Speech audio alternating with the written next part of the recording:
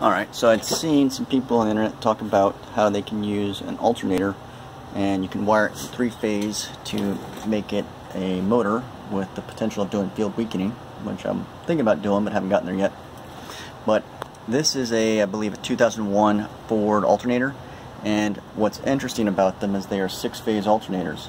I don't know if you can see the other phases here. You got one, two, three other phases down there. I'm just hooked up to these three phases.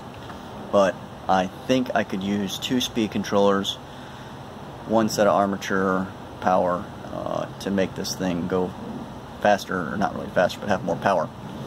Uh, right now I'm limited to 45 amps.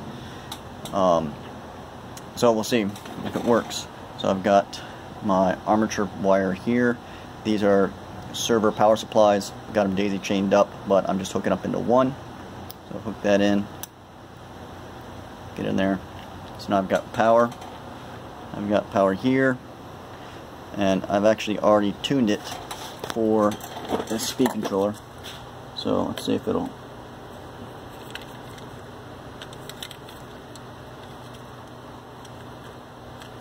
It's kind of hard to hold the camera and throttle. Ah, that's what I was afraid of.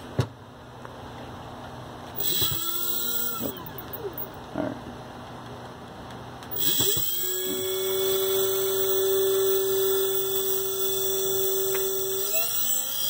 And this thing boogies too.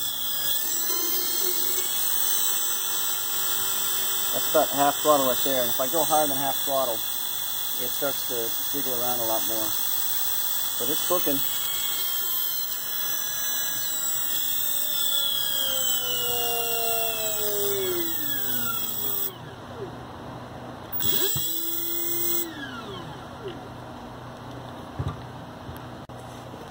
Okay, I want to put something on so you can see it a little bit better. Alright, there you go. Now I got the throttle held right. So that's nice slow speed.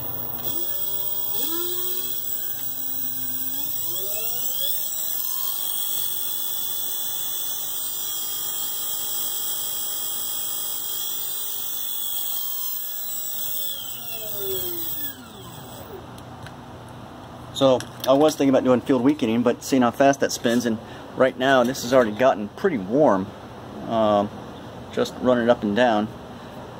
Wires are not warm at all. Speed controller is not warm at all, but you know the housing, the stator has gotten pretty warm.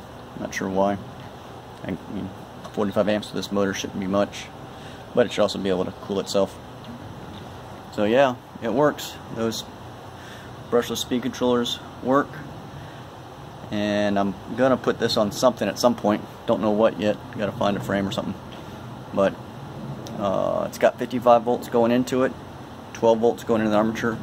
I'm sure if I put more volts let me pull this guy out. Uh, if I put more volts through here I'm gonna get more amps. And I should get more torque but I run the risk of burning up the armature.